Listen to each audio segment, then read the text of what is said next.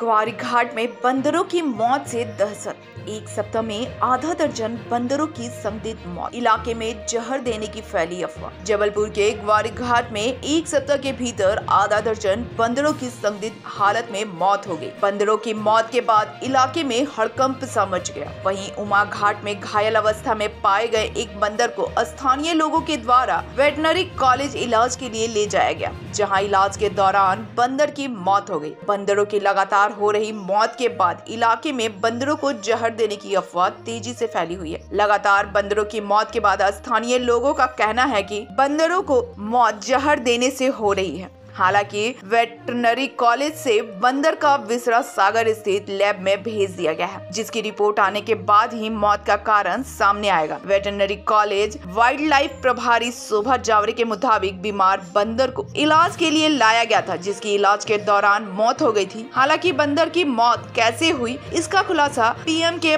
बाद ही हो सकेगा बने रहे द खबरदार न्यूज के साथ धन्यवाद